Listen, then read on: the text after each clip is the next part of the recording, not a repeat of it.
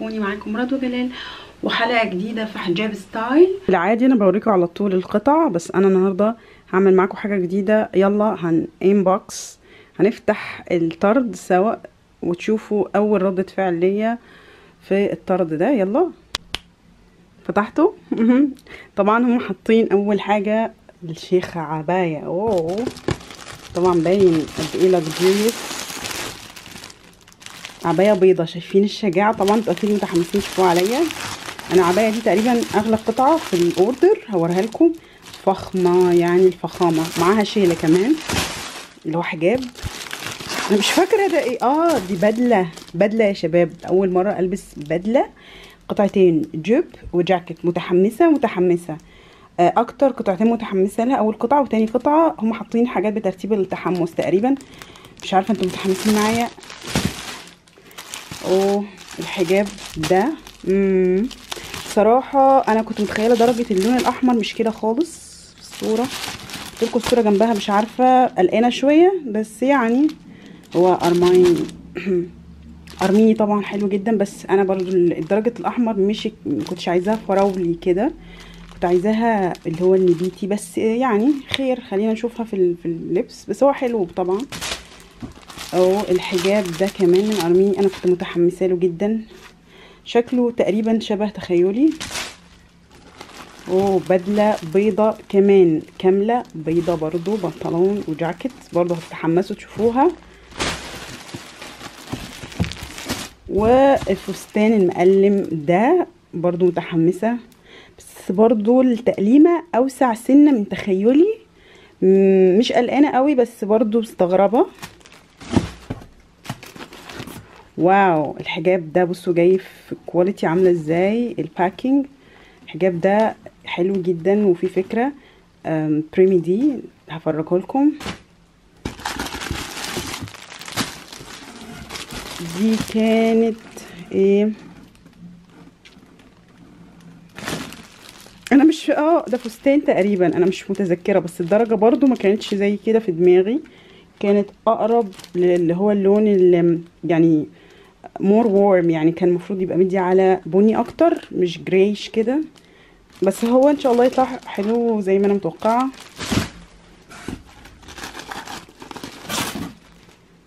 إيه ده؟ آه ده؟ كان فستان جينز تخيلوا ناسيه الحاجات بس آه درجة يعني أزرق أكتر من تخيلي.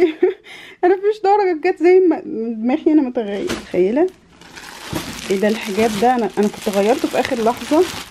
بس شكلي في الآخر طلبته. هما اتلخبطوا بعتولي حجابين. أعتقد. ولا مش فاكرة والله. آه 1 2 3 4 مش عارفة. أنا كنت غيرت الحجاب ده في الآخر. شكلي في الآخر رجعت الحجاب ده. طيب خير.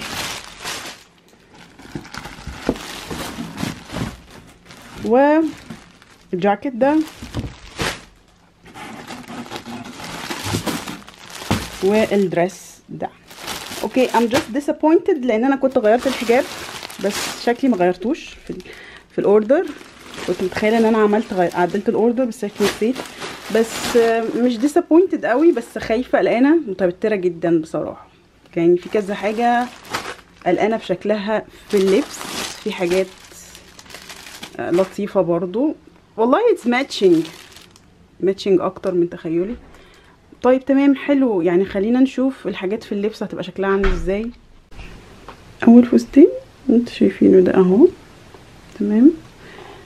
أهو من designer اسمه مصطفى تركي كده. بس الفستان بصراحة رائع. أنا كنت متخيلة إن قماشته زي القطن.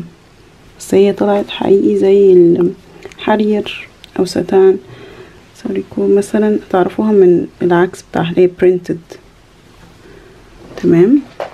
أنا جبت مقاس 42 لأن لما شفت رجعت المقاسات لقيتها واسعة شوية فجبت 42 آه حلو جدا. بس هو بقى محتاج تعامل يعني بمنتهى الحرص آه لأن هو فعلا الخامة آه لا يعني ما تستحملش بقى إيه تقعدي إن إن وأنتي بتلبسي يعني.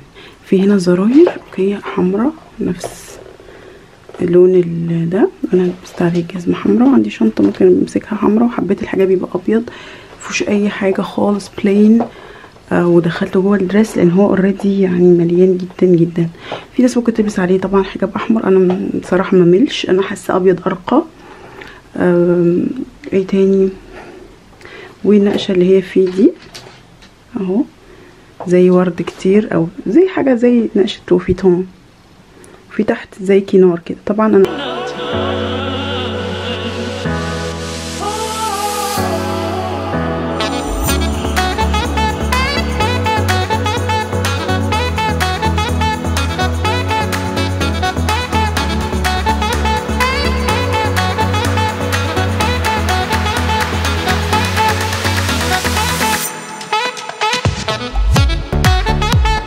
ال outfit اللي بعد كده الفستان ده. أنا حابة ألبس عليه شابو كده عشان يعني إيه الصيف بقى. لأن هو أنا حسيته فستان بحر قوي. آه طبعا الملمس رائع. ده قطن قطن و already مبطن. أنا محتاجة أوريكم الفستان ده على المانيكان. ليه؟ لأن هو فيه تفاصيل كتير قوي. سوسته هو جوب في فستان في نفس الوقت. يعني حاجة كده design غريب غريب. بس يعني إيه الجمال ده؟ وفي بطانة من تحتها بطانة حلوة زي قطنية كده. هو حتى limited size وأنا فاهمة ليه إن هو limited size لأن هو ما ينفعش أي جسم. يعني هو محتاج حد يكون شوية رفيع وطويل مش رفيع يعني رفيع بس أنا أقصد مش over weight ده رأيي الشخصي يعني. لأن هو أصلا أكبر مقاس. أنا لابسة اتنين من 42 ل 44 يعني هو لابس 42 و 44 وفي زي ده ده بيتربط. تمام؟ أنا هوريه لكم على المانيكان عشان تفهموه أكتر. وزراير جيب مربوط في الظهر. وعملت الحزام اللي هو زي القميص كده أكنه كروس والخامة أهي. هوريه لكم على المانيكان كامل عشان تفهموه. القطعة اللي أنا قلت لكم عليها آه زي ما قلت لكم هي مختلفة تماما يعني عن أي حاجة ممكن تكونوا شفتوها. بصوا أهو هنا زي جوب تمام. وفي من هنا أهو سوسته تمام. أهو okay عشان تعرفوا تلبسوه من الجزء ده. هنا زي القميص. أهو يمين شمال. تقفلي القميص وبعدين تعمليه زي twisting تربطي الحزام ده مرتين زي ما أنا كنت لابساه. وال skirt أهي متوصلة من هنا. هنا الجزء اللي قدام مفتوح وجزء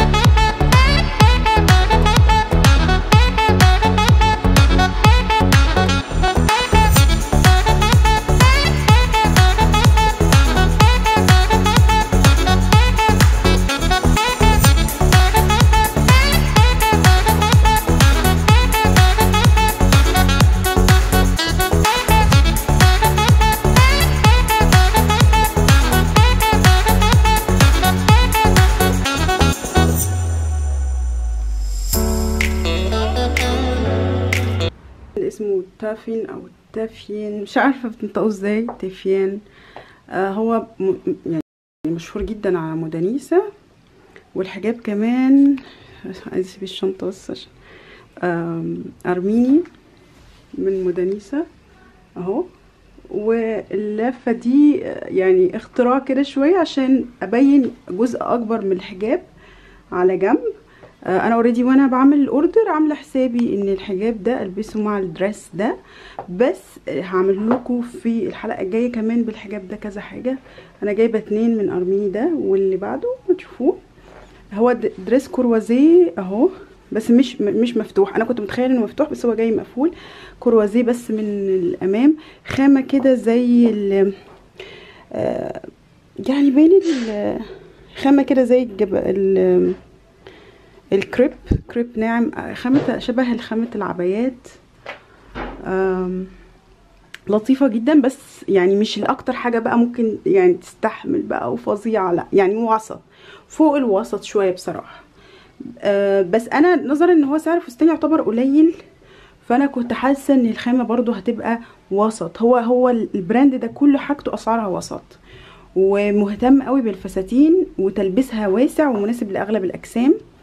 تمام؟ هو يعتبر بالنسبة لي مش أطول حاجة بس تمام يعني okay؟ سبور شوية بس مش يعني مش مبين بس الجزمة طبعا بتبان كاملة.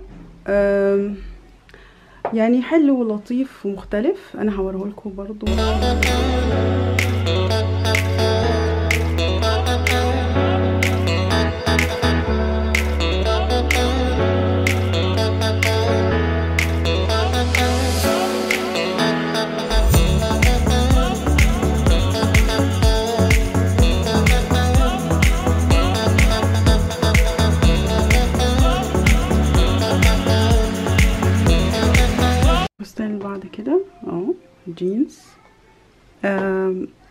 الفستان خامته رائعة. طبعا صيفي جدا. الحزام ده أنا حطيت له من هنا زي آه، دبوس. هو مش ثابت آه، لوحده. يعني لازم تحطي له حاجة يا إما بقى هتحطيه كده. يعني بعد ما هتربطيه هتحطيه. آه، مهمة جدا. هوريكم بس شوية حاجات كده ملحوظة على الفساتين الجينز بس لازم أحطه على المانيكان عشان أعرف أشرح لكم. الحجاب برضو أرميني. آه، عملته بلفة مختلفة خالص. أوعدكم الحلقة الجاية إن شاء الله أو اللي هي الحلقة المخصوصة لحجابات مدنيسة. هوريكم كذا آه، رابطة. إزاي أنا رابطة حجاب مربع بدون ما أتنيه خالص؟ بحيث أديله طول وستايل مختلف. تمام؟ آه، أنا جبت مقاس 44 لأن أنا اللي هو مقاس الصدر كان ده المقاس اللي كان هيظبط. بس أنا اكتشفت بعد ما جبته إنه لأ 42 كان هيبقى أفضل. شوية فيه وسع وحسيت الوسع ده عند منطقة الكتف لأن هو زي ما أنتم شايفين فيه كده قطعة المفروض تبقى زي بارزه أو طالعه وأنا لابسة نضاره شمس عشان عايزة أصوره آه تحت. ف بس هوريته لكم سريعا. هي بصراحة الميزة الوحيدة خامة مريحة وإنه فستان جينز بس فكرة إن هو فستان جينز بنوتي أكتر عايزة اوريكم